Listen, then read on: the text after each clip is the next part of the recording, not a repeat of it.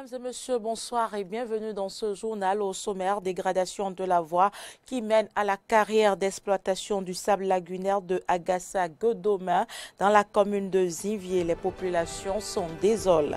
Sensibilisation des jeunes filles artisanes de Lokosa sur la maladie du VIH-Sida. C'est une initiative de la direction départementale de la santé du Mono en collaboration avec la fondation Claudine Talon. Puis, déconfinement des populations en France à partir de mardi prochain. De nouvelles mesures strictes sont prises pour éviter une explosion de nombre de contaminations au coronavirus après les fêtes de fin d'année.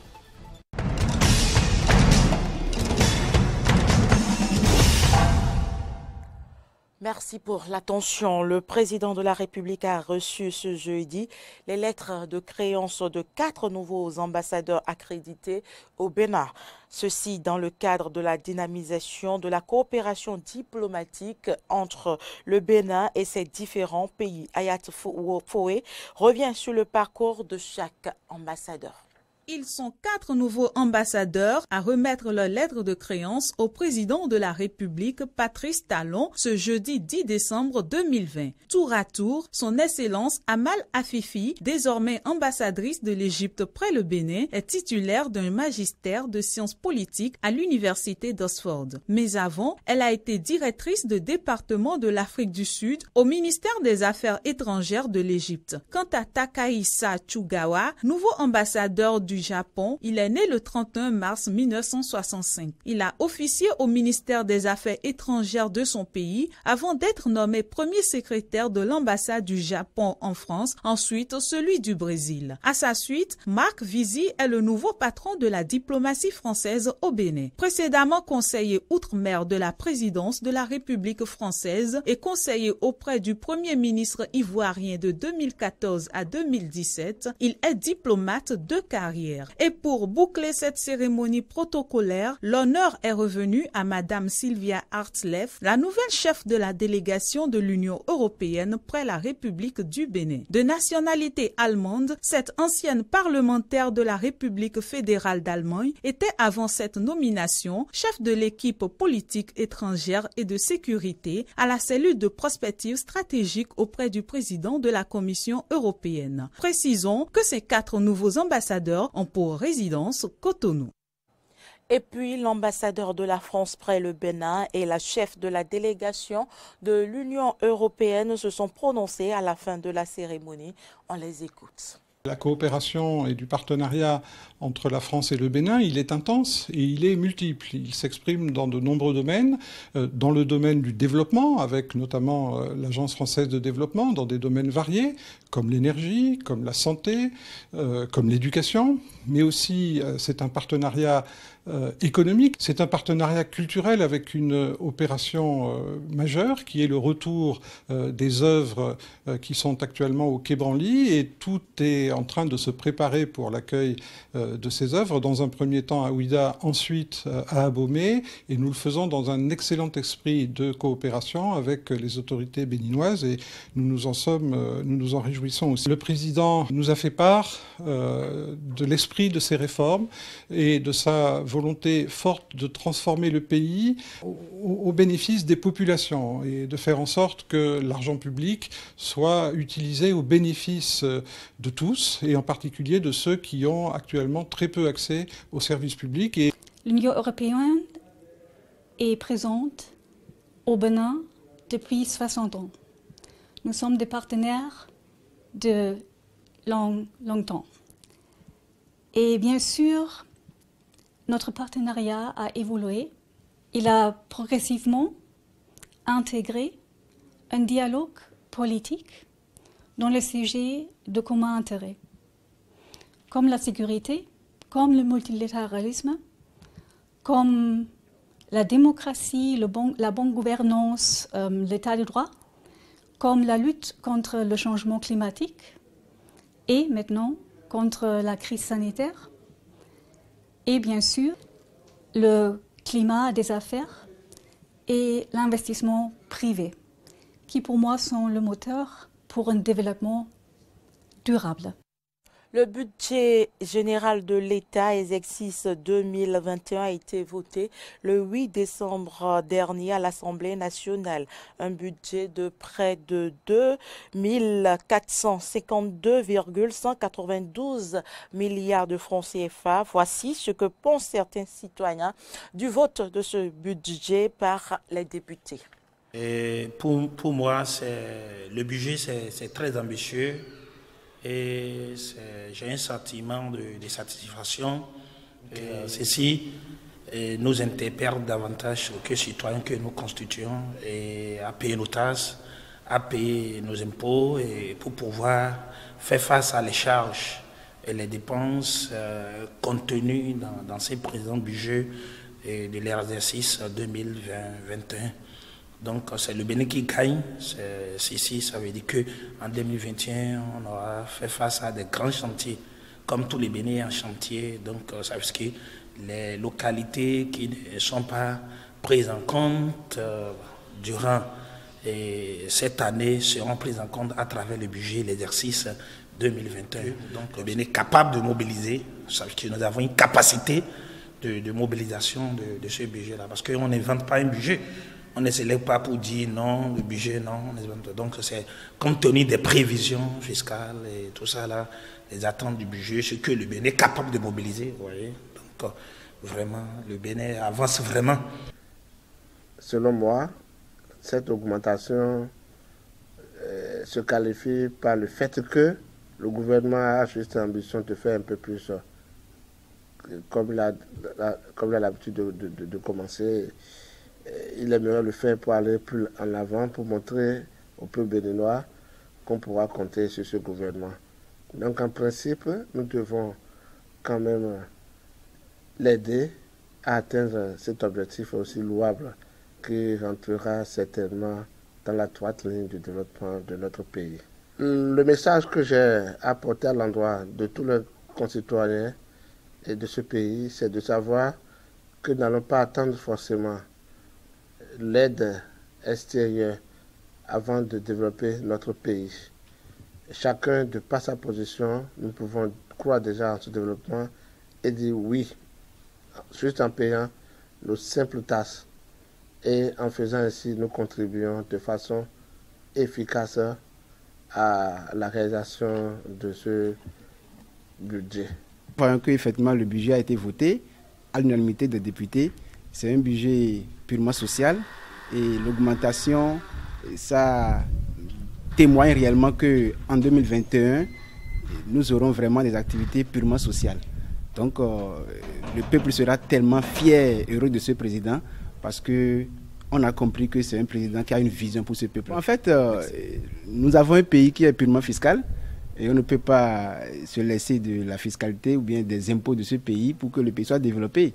Donc on dit que ce budget a augmenté, on ne peut pas dire que c'est parce qu'effectivement il aura tellement de fiscalité ou bien tellement d'impôts que c'est augmenté. Non. Mais nous savons que c'est dans l'intention, dans l'intérêt du peuple béninois pour que chacun soit fier de dire j'appartiens à ce peuple. Dans le village Agassa Godomain, la voie qui mène à la carrière d'exploitation du sable lagunaire est dégradée. Une situation qui cause d'énormes désagréments aux populations riveraines. Suivant le point de la descente faite par Laurent Toneikes et Damien Pedro.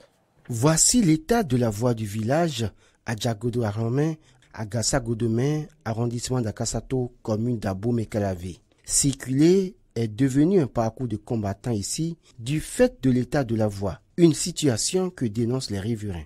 Nous les riverains, on souffre beaucoup de, en tout cas de l'exploitation de cette carrière. Non pas que nous n'apprécions pas l'activité économique, c'est pas cela, mais c'est un peu le manque d'entretien nous, à notre, en tout cas nous à notre entendement de la voie. C'est vrai qu'à des moments donnés, l'entreprise essaie de faire gratter ça, mais je pense que ce n'est pas suffisant. La plupart d'entre les chauffeurs ne sont même pas qualifiés, puisque les chauffeurs, des fois, laissent les véhicules à leurs apprentis, lesquels euh, conduisent et ils ne sont pas encore bien qualifiés. Et tout récemment, la période que vous voyez là elle a été reconstruite parce que c'est un petit qui n'avait même pas le permis, qui était au volant et il est allé rentrer dans la paillote. Donc c'est pour vous dire qu'il avait beaucoup de désagréments pour nous les riverains ici. À cela s'ajoutent d'autres dégâts occasionnés par les conducteurs de ces camions. Si pour les populations riveraines il y a longtemps que la voie a été aménagée, le chef du village n'est pas du même avis. Selon lui, la voie est régulièrement aménagée. Le problème est ailleurs, précise-t-il. Chaque fois la voie est réparée. Mais qu'est-ce qui fait que la, voie est, dégradée chaque fois Surtout au moment qu'il pleut, qu'il pleut là, la voie c'est dans une descente. Et, le ruissellement d'eau, ça dégrade la voie. Et chaque fois, comme c'est un, chantier de, carrière, mais la dame est obligée de, se forcer. Et on lui a dit que ce n'est pas le, fait de, charger la voie qui est le problème. Elle doit trouver les moyens pour faire au moins un caniveau un caniveau pour, pour, drainer l'eau de ruissellement jusque dans le bas-fond.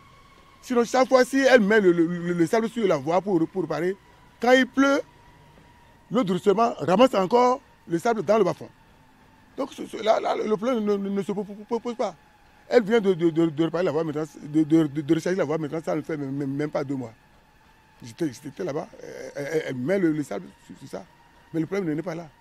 Toutefois, les populations riveraines font des propositions.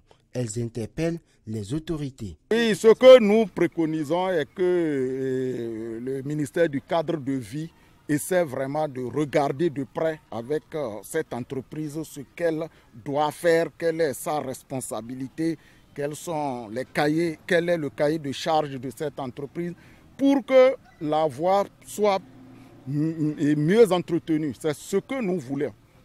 C'est notre souhait.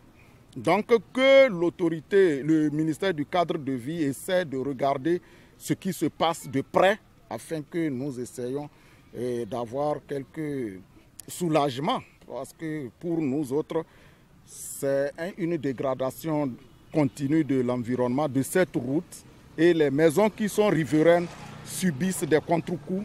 On, on, crie, on crie au secours de venir nous aider. Ça ne va pas on pleure, même les camions, même la nuit profonde, ils passent.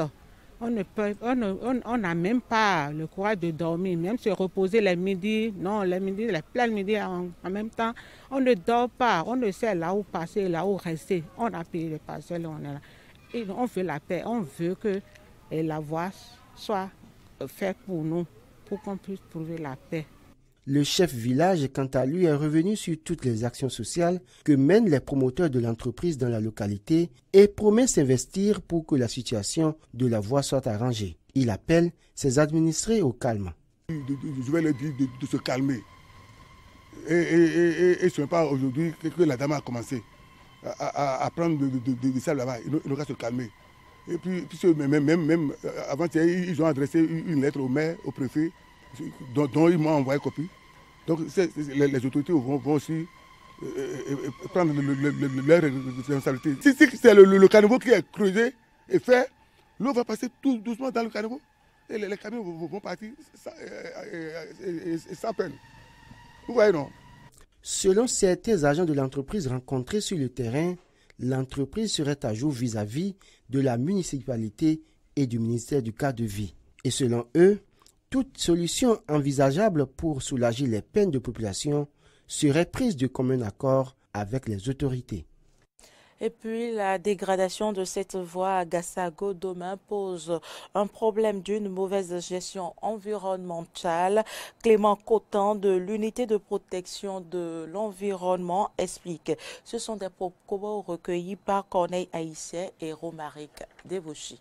Cette carrière de dragage de sable dans la logique, devait faire une étude d'impact environnemental assortie d'un certificat de conformité environnementale où on annexé en arrière du certificat de conformité environnementale le plan de gestion environnementale.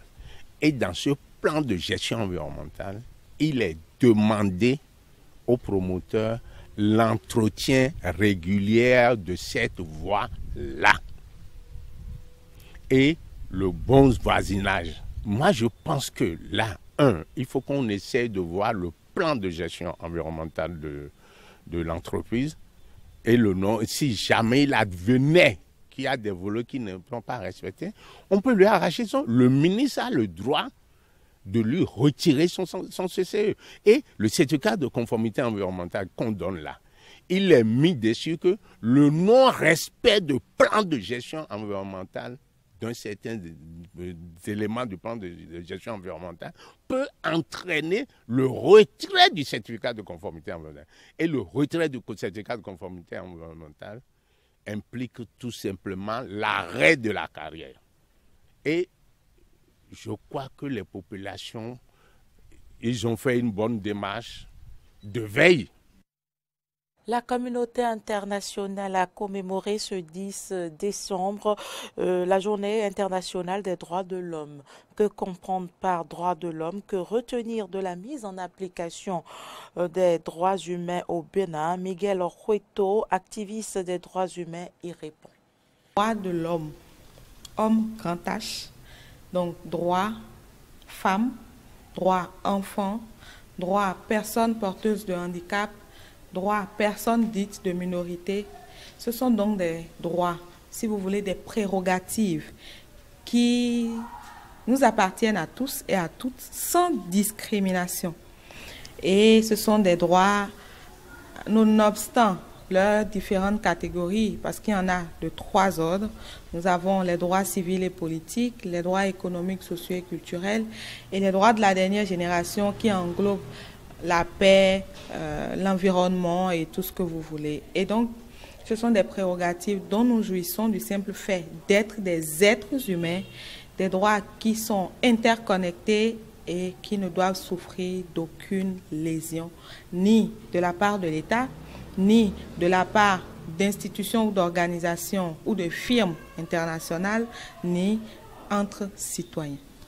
Par exemple, quand on prend la Commission béninoise des droits de l'homme, les commissions nationales, les institutions, pardon, nationales des droits de l'homme, qui sont une recommandation des Nations Unies et en même temps une recommandation de l'Union africaine. Le Bénin l'a connu il y a quelques années sous la forme d'une organisation non gouvernementale qui a disparu. Et aujourd'hui, nous sommes heureux parce que nos aînés ont beaucoup bataillé pour que cette commission revienne. Quand on jette un regard sur l'installation de la commission, on peut se dire que le Bénin, sur cet aspect-là, a fait des progrès. Quand on observe un peu les différentes pages réseaux sociaux des institutions de la République, par rapport à diverses actions qui sont menées, on, peut, on est tenté de se frotter les mains en se disant que tout va bien dans le pays.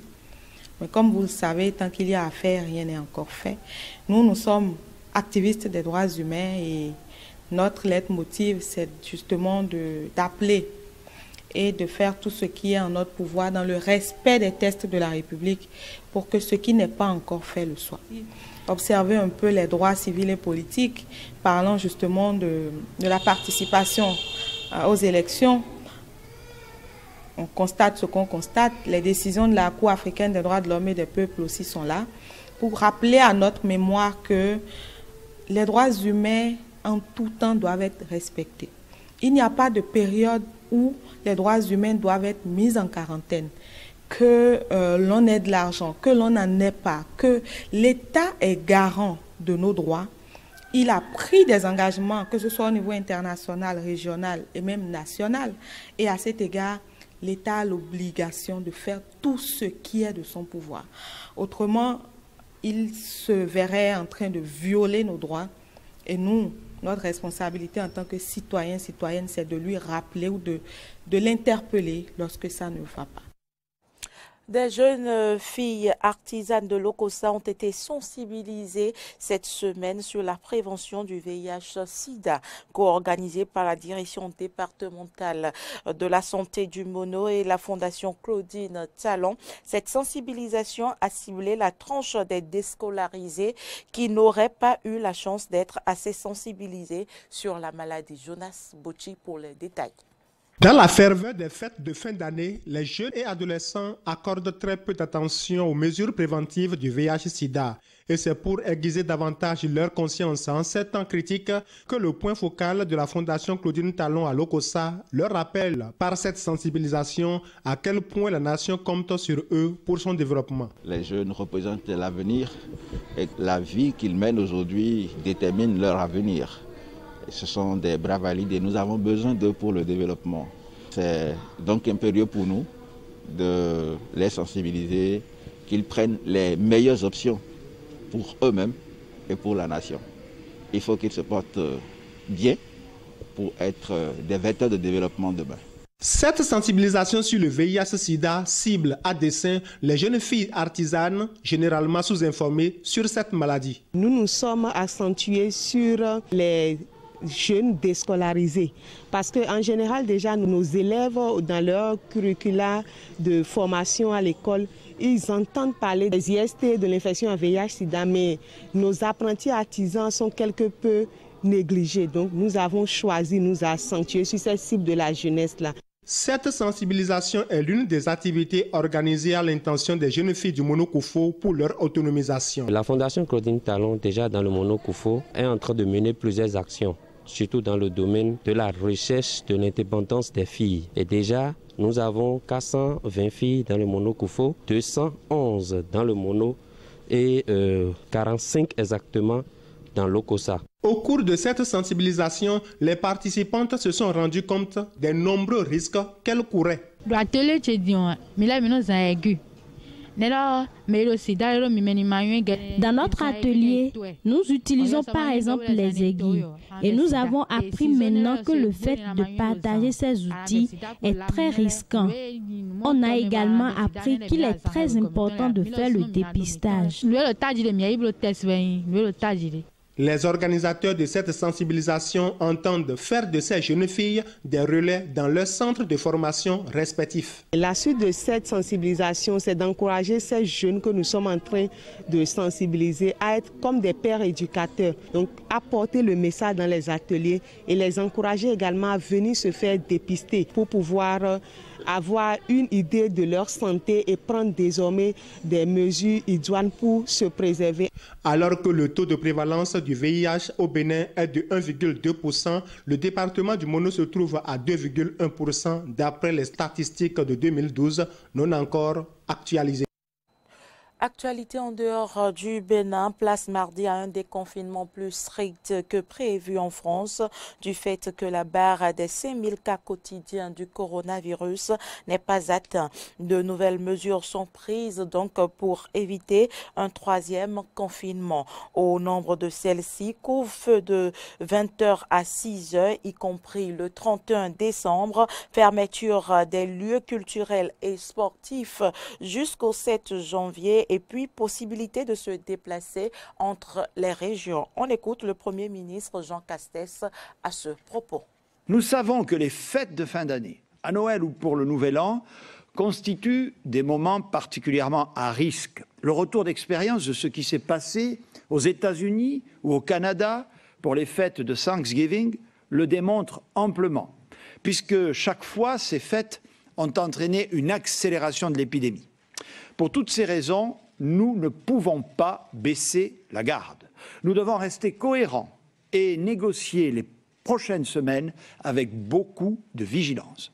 Nous devons adapter nos mesures autour d'un objectif permettre à chacune et chacun de profiter des vacances et des fêtes de fin d'année, mais sans nous exposer à un risque de rebond de l'épidémie, ni maintenant, ni dans les premières semaines de janvier. Car je pense que nous serons tous d'accord sur ce point.